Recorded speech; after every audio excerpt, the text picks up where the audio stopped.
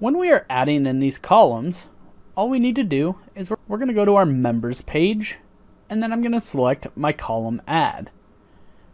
Being that I am going to use this over and over again, maybe I want to select the pin to quick access. As soon as I select that, we can see that is then pinned on the left side toolbar. So I'm going to go ahead and select column add. And as soon as we do that, we can see we have this bar come across that's going to ask us our section size and a whole bunch of different information. We can see our locate page is automatically brought up and has all of our point locators in here. So looking at our column at A1, we can see that is a W10 by 49. So I'm going to go ahead and type that in here. I can go ahead and either type that in here or hit the browse and browse for that section size. Another nice thing with this is if I am browsing the section size, I can just type in W10 and it's going to automatically snap us to that and then I could go in and select the W10 by 49. When I say OK here, it is going to update that section size and then it's going to ask us some more information. These fields that are grayed out do not apply based on the materials we have. So in this case we have a toe direction if we were using an angle or a channel. Next we have our reversed and we have a double or a single material again if it was an angle or a channel. Next is our bottom. If I hover over this, this is going to ask me for my connection type. If I drop that down, we can then see we have an option for auto standard, we have an option for plain end, user base and cap plate, we have clip angle, user defined, auto base cap plate, our splice plate, or we have shear. In this case, we're going to use the user base cap plate. When I select that, that's then going to ask me what number is that.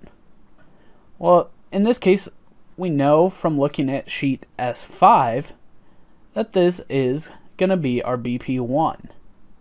However, if I didn't know what number BP1 was, I can hit this browse button and it is going to bring up our base and cap plate schedule and it's going to show everything that we filled out in that schedule. In this case, I'm going to select BP1 and I'm going to go ahead and say OK. And then we have our elevations. We can lock that in. So if I wanted to, I could type in 99-2 for the bottom. And then on the top end, we can specify the same thing, the connection type. In this case, we don't have a cap plate, so I can just leave that at auto standard. And then I can lock in our elevation here. With that locked, looking at sheet S5, it shows it going to the roof, but it says elevation varies. If we look at the framing plan, we can see it calls out the elevation of 126 foot 0. And we can see there is no plus 9.5 or anything here, so we'll go 126-0. The next question is our column rotation. The column rotations are going to always follow the web of the member. A 0 degree rotation will have the web running horizontally, where 90 degrees will have the web running vertically. A positive rotation will rotate the column counterclockwise. In this case, we can see it does need to be rotated 90 degrees. One way I like to remember my column rotations is I just remember the word high. HI. H is going to be your 0 degree rotation, where 90 degrees would be your I. With all of our information here filled out, I'm going to go ahead and select A and 1. If we zoom in, we can see the wide flange outline there. Now looking at our button bindings, we can see left click is for locate, middle click is repeat, and right click is return. So we got to be careful that we don't middle click to try and pan, as that would repeat or add that column again. Looking at S2, we do see that W10 by 49 is the same and same rotation at AN2. So I can middle click there to repeat that last column. And we do see the same at A and 3. So I can middle click here. And then we do see we can repeat this at B1. And looking at sheet S5 as well as S1, we can see it says the exact same column is at B3. However, it is a different section size, so I cannot repeat that. We can, though, repeat that at D1 and at D3. So all of those are the same. And then I can just change my section size here to a W8 by 48. And then I can locate that at B and 3.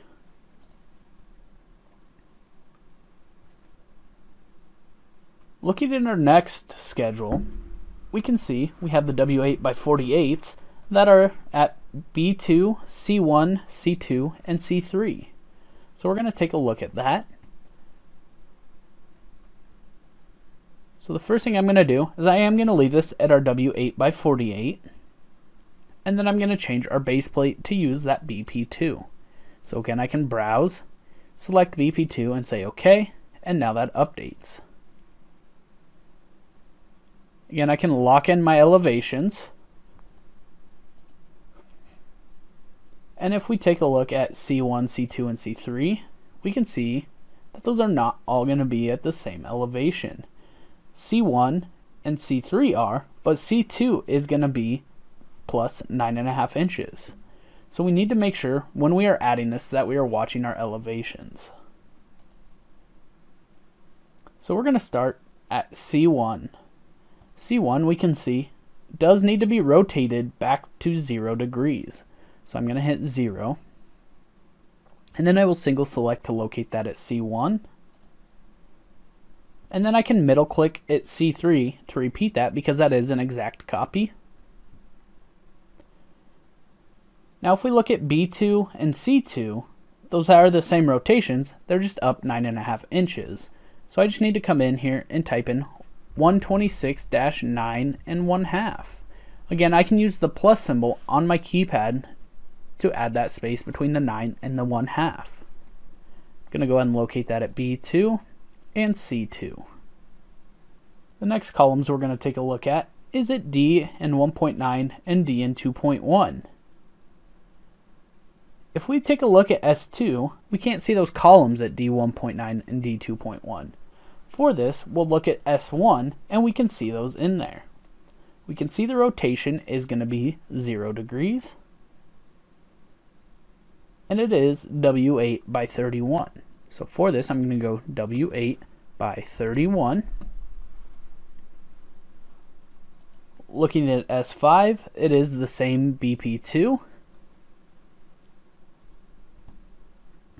And looking at this, we can see it calls out the W8 by 31 starting at 99 foot 2 and then going up to the second floor at 114 foot 6, but there is a bolted splice at 110 foot 0 for this, what we're going to do is we're going to change our elevation here to 110-0. Because of the way SDS2 adds these splice plates or these spliced connections, these are going to be two separate members. So we're going to add the first one from 99.2 to 110 foot 0. Our top connection then needs to be changed to a splice connection. So we'll select our splice plate and then I'll locate that at D1.9 and D2.1. And then from there, we can go 110 foot 0, and then our top elevation then is 114 foot 6. And then we need to look at our connections. On that low end, that is now going to be a splice connection. And on this upper end, then that can just be back at our auto standard. I can then select it D and 1.9 and D and 2.1. For this part of our training, we aren't going to worry about the, the column at D and 2. And we aren't going to worry about the upper ones at E and 1.9 and E and 2.1. We're only going to worry about the Pipe 6 standards. So for this, we need to type in our section size of pipe 6 and then STD for standard. We need to change our bottom end connection again back to our user-based cap plate. We can see that is that type A, that is the 10 by 10 by 3 quarters. So I can browse and we can see that is BP3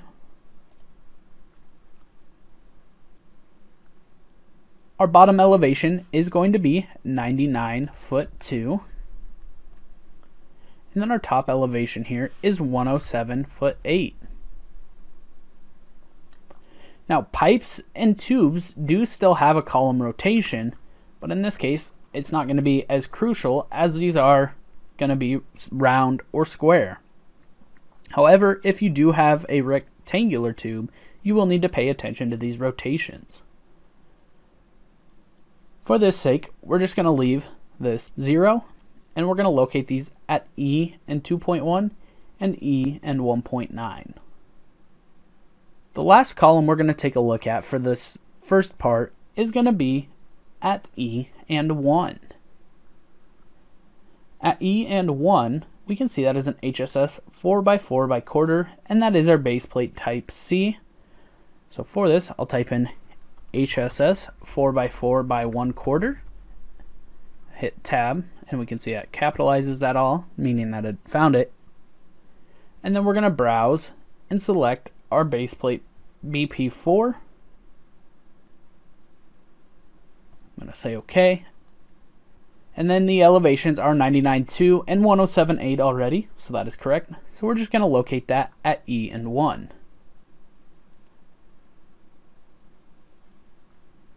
At this point in time, we have our columns in here for what we need at this point for our anchor bolt plan. So I'm going to right click out of this to complete the column add. To take a look at these columns, if I want to see them in solid and make sure they look correct, I can either hit SA on the keyboard for solid all, or if I select them all, I can right click and go into my member styles and select solid opaque solid transparent or solid transparent main. Or inside of my display, I have the option for change all to solid opaque. So I'll select that and then we can see our columns with our base plates. And we can verify our rotations of the base plates and everything are correct. We will get into some more options here with the creation of these plates and everything in a future video. If I wanted to take a look at these columns a little bit more, maybe I wanted to see what they looked like. Holding down my shift key, we can see my middle click button binding now becomes rotate. So I'll shift and I'll middle click over a member and rotate and we can see that in an isometric view. However, these columns look fairly short. Again, that's because my depth check is turned on and I'm and I'm only seeing three foot in and three foot out. If I undo this depth check, we can then see our full columns.